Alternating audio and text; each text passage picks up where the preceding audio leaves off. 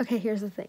So like I just decided I was participating in the tome topple. I don't really know why, but like well I do have a reason. So last night it was around one o'clock and I was just kind of cruising through YouTube and then through my Instagram too and I saw a bunch of hashtags being like hashtag tome topple and I was like what the heck is tome topple?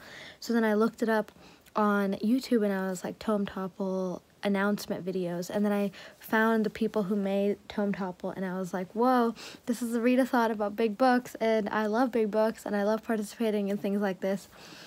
Um, no, I don't. Why am I lying? I don't like participating in readathons.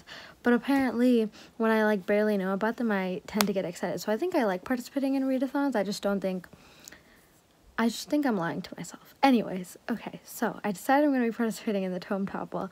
And is it a readathon? Do I call it Tome Topple Readathon? See, I don't know anything about it. I know some of the challenges. I don't think I'm following those.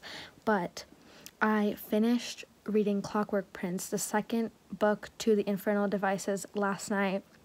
So I thought that I would count that towards my tome topple because it was exactly 500 pages and I think it's 500 pages and above. I think I have to look that up too. And then I just posted on Instagram about me participating in the tome topple. So I'm excited. I can't wait. I'm already participating in the Indian readathon that's like happening in between the tome topple and I'm not reading any books that are 500 pages or over for that readathon. So that's going to be a problem. But then also I just got Midnight Sun coming in the mail today. So I'm also going to be able to read that. And then I have a bunch of other books I can use to figure out the tome topple. And then Clockwork Princess is another book. And I don't really have to read all of them. I just have to read some tomes that I've been um, that have been on my TBR for a while. Because I'm very excited and I can't wait. And I've already been talking too much for this introduction. But yes, I'm starting the tome topple. Um, that's all I got. I'm just excited for it because it's a readathon about big books. And I was like, why was I not doing this? Why is this not something I've been doing for years and years and years? Because I love reading big books. That's like my my happiness to read big books. Oh, and I'm also like I've been reading A Little Life for like years now. This is my like reread of it, and I'm, I've been on page 43 for like a month, so maybe I can read A Little Life. I don't know. Anyways, I'm excited for Tome Topple. I just cannot wait. And yeah, I just want to be reading all the things. And I just kind of want to be participating in all the readathons for some reason. Welcome to the Tome Topple vlog. Um, hi. Okay, so I'm on my way. I'm sorry. I'm like going crazy. Okay, I'm on my way to the library. I just spent a good amount of time last night and this morning freaking out because I thought I had to finish Clockwork Princess by today because the Indian Readathon starts tomorrow and I didn't want to be reading Clockwork Princess and reading stuff for the Indian Readathon at the same time because that's two readathons at once and I don't think I could handle that. And I also just wanted to start a new Tome Topple book after the Indian Readathon. But I just found out that the Indian Readathon actually starts on August 15th which is freaking great because that means sorry if I'm yelling, I don't know why, but that means that I still have like three more days, I think, to read um, my Tome Topple books, which is amazing. So I still want to finish Clockwork Princess and start a new Tome Topple book, but I don't have to be stressing out about finishing it all today because I did have about like 200 pages to finish. Sorry. Okay, I okay, I did have about like 300, 200-ish pages to finish, and I'm really great that I don't have to do that anymore. So, I'm on my way to the library. Indian Readathon starts on August 15th. Today is August 11th, day four of the Tome Topple, and I am doing great. Everything is amazing. I think I found a new love for readathons, which is great, and that's all the updates I had for today. Um, maybe I'll do a little what I got from the library haul when I actually reach the library, which is gonna take quite some time because my library is kind of far. But besides that, that's all I got. And I'm done freaking out for today. State Farm is there. Okay. Um, okay, so I just came back from the library and I it's curbside pickup so like nobody went inside I didn't get close to anyone I wore my mask and I just picked up the books from a table outside of the library and I'm currently sitting in the parking lot because I wanted to do a mini book haul of all the books I got I don't know why I'm like yelling. I have no reason to yell. Okay. So the first book I got is Heartstopper by Alice Oseman. I read Radio Silence. I gave it a 5 out of 5 stars. And then everybody says that this book is amazing and it just looks so cute inside. Like look at it. It's so cute. So I just wanted to read this and then I want to read the rest. But my library doesn't carry the rest so I'm gonna be super sad when I finish this and then I can't read the rest of the series. But I also think she posts the entire thing online so I think I'm just gonna read it online I had one more thing to say, sorry. Um, the color inside, like it's so pretty. I love when they do like this one color thing. I also wish all of the book looked like this, where it was like all full color, but at the same time, the style is very nice. Okay, the next one I got is Felix Ever After.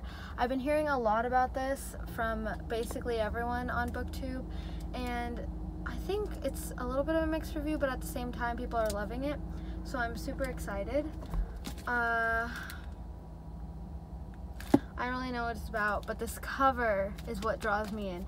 Orange covers recently have just been like what I've been gravitating towards. Obviously the story as well, but then like orange covers and like look at how pretty this boy looks on the cover. The next book I got is The Bride Test by Helen Hoang and I read The Kiss Quotient like a couple weeks ago and I absolutely loved it. Can this guy not park next to me, please? Okay, so I absolutely loved The Bride Test. Sorry, I'm getting distracted. I absolutely love The Kiss Quotient and 5 out of 5 stars. It was amazing, so I'm going to be reading this. That's all. Um, okay, The Namesake by Jhumpa Lahiri was the next book I got, and this is for the Indian Readathon. It is the book club pick, book, book live. It's like the book club pick where they're going to be reading it at the end of the readathon and then talking about it. So I'm super excited. This is also like a super popular book. I'm getting distracted by people driving around me. I'm sorry. This is a super popular book by an Indian author and I've never read it and a bunch of people have so I need to get with the program. Also it's the winner of the Pulitzer Prize so that's pretty cool. Also it's a major motion picture so I should probably watch the movie too. The last book is Pride, Prejudice, Okay, the last book is Pride, Prejudice, and Other Flavors by Sonali Dev. This is also part of my Indian Readathon pick. I will hope to be reading this if I actually get to it, because with readathons I kind of fail at them, but I'm actually super excited for the Indian Readathon because it's uplifting Indian authors and we're encouraging people to read more Indian authors, which I'm so happy about. So yes, I'm going to be reading this hopefully. That's the end of my book haul, my mini book haul.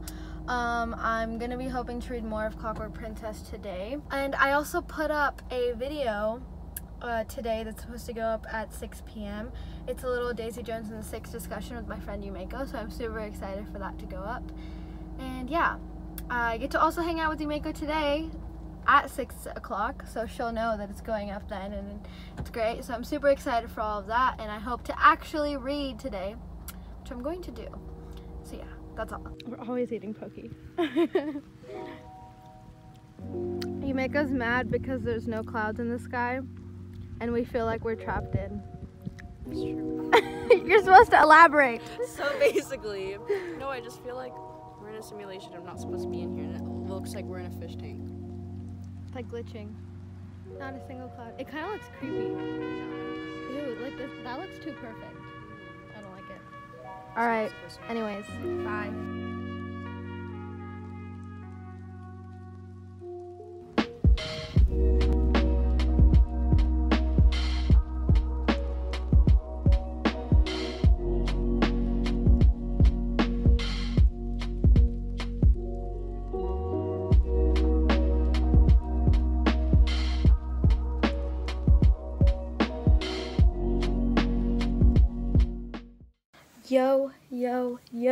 It's August 12th of the Tome Topple. I have read um maybe 30 pages today. I'm getting through the book. I just haven't been feeling like reading today. Uh, but it's still going well because I'm like almost done with Clockwork Princess. Also, yesterday I picked up Call Me By Your Name by Andre Aciman and I'm so excited to read this. I can't read it for Tome Topple, so I'm going to read it after, but like, I'm so excited because I watched the movie, I love the movie, and Noelle Gallagher from the YouTube channel Noelle Gallagher um, recommended this, and she absolutely loved this book, and she like cries over it. So like, I need those emotions, and I need them now. And yeah, that's that's all for today. Uh, yeah, that's it.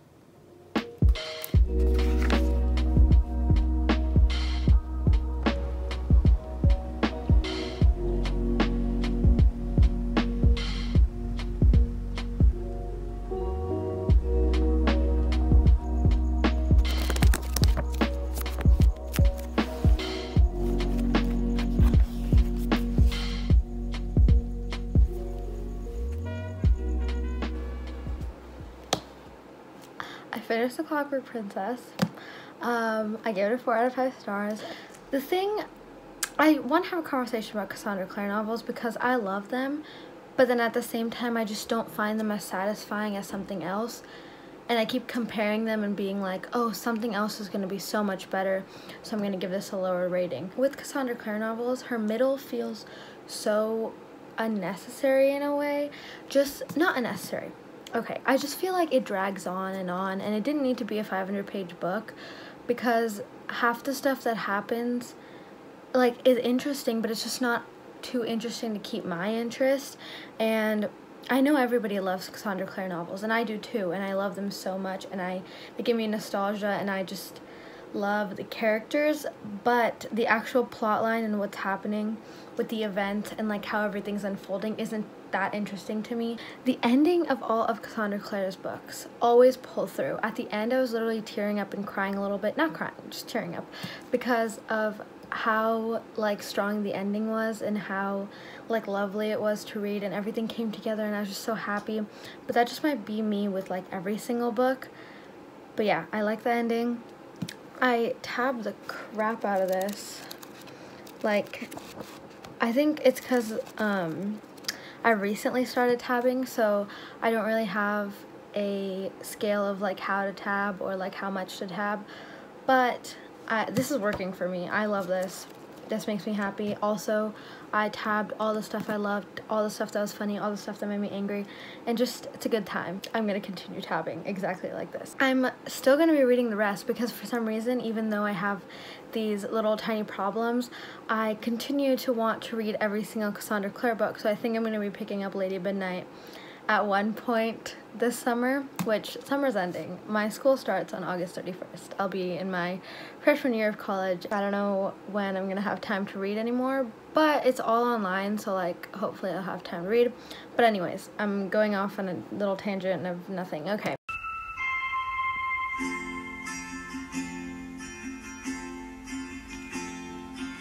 This isn't even a freaking like update on my reading. It's literally just me wanting to have a mini conversation because I just had to say it. Okay, so I am thinking about buying the entirety of the Brandon Sanderson series, like all the books he's written dealing with the Cosmere, which is like his thing, because I haven't read any of the books. And I keep reading, reading, I keep watching Catherine Reads is what I think her YouTube is, and then she started freaking out about the new book, Rhythm of War, that just came out.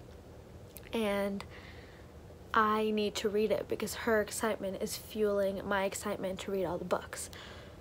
So I think I'm gonna buy that. And those are tomes. So I wanted to talk about it in the Tome Topple vlog because most of those books are like a thousand pages long and I just needed to talk about it. So this is me talking about that and I haven't been reading this week because I've been working my way through books for the Indian Readathon. So I thought I would just add that in to be interesting. Um,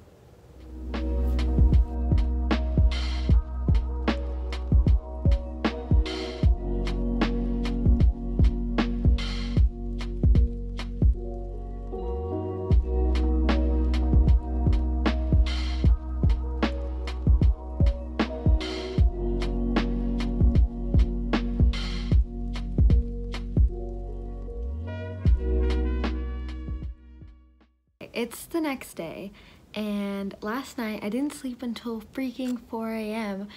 not because I was reading Black Leopard Red Wolf. It was literally just because I just couldn't sleep. So it's currently 7 p.m. the next day and I'm freaking tired and I would like to go to sleep, but I haven't eaten dinner yet. So I'm gonna go do that and then I'm going to sleep. Anyways, I started reading Black Leopard Red Wolf and I'm also reading some right now. However, it's a little bit hard to understand.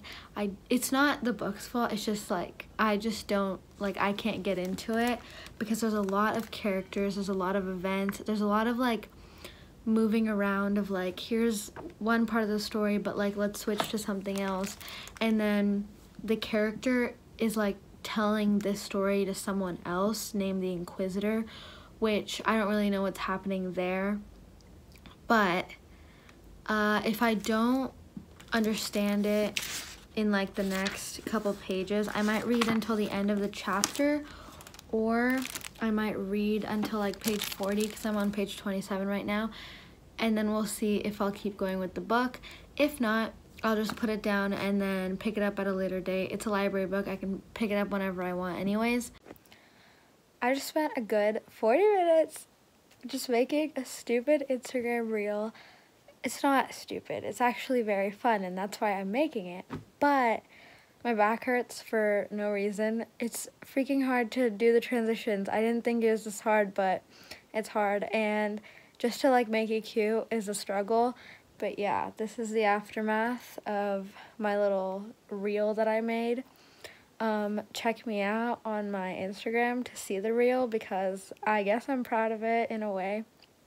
And I'm tired. Hello. Um, so last time you saw me, I think I gave that little update about reading to page 40 on Black Leopard Red Wolf. Well, today is August 22nd. The readathon ended yesterday. I only read to page 40 on that last update day where you saw that time lapse of me actually reading the book. And then I didn't read anything again because I don't have a reason. I just didn't feel like reading that book at that time, so I put it down. So, even though I didn't finish as many books as I thought I would, I'm still pretty happy with finishing Clockwork Prince and Clockwork Princess. Also, just so I have a little thing to put at the end and you're still entertained by this video, I'm gonna do a little thing of what my most anticipated tomes are that I hope to be reading on the next Tome Topple Readathon. So, these are the books. So my goal is to read Brandon Sanderson's Skyward. I'm really hoping to get into Brandon Sanderson because I've read nothing by him and I'm hoping that this is a good start to him and then I can get into his Cosmere series. And then I want to read Jade City. I've been hearing a lot about this, about how great the books are, and then also I've heard it's a family drama, which I'm really interested in right now. So, hoping to read this. Next book, I want to read Stephen King's The Shining. I haven't been I haven't read this book yet and I can't believe I haven't read this book yet because this book is so popular and everybody either tends to really love Stephen King or really hate Stephen King. So I want to see where I am in that spectrum, I guess. So I'm going to pick this up to start my adventure on Stephen King. I did read Insomnia at one point. However, I only got halfway through and I never finished the book and I just don't know. I don't remember anything about it. The last tome that I have anticipated reading for literally since I got it and since I heard about it, Priory of the Orange Tree by Samantha Shannon. Also, this book is about the size of my freaking face. So, it's also like the largest tome I've ever owned. It is so, so big. I know I'm gonna really like it and I just need to hurry up and get to it because if I don't read it now, I, I'm afraid that I'll never read it. So, I need to get to this. So yes, those were my anticipated tomes that I hope to read either sometime this year or sometime for the next Tome Topple readathon. Thank you so much for watching. Uh, I hope you enjoyed. I really enjoyed. I will definitely be participating on every single Tome Topple because I absolutely love these readathons. Reading big books is the best thing that I absolutely love doing. So I'm gonna be doing it a lot, lot more since I discovered this readathon because I had no idea it was happening and I kind of just found it the day it started so I was so happy that I found it and I'm excited to participate in every single one after this. Alright, thank you so much for watching and I will see you in my next videos.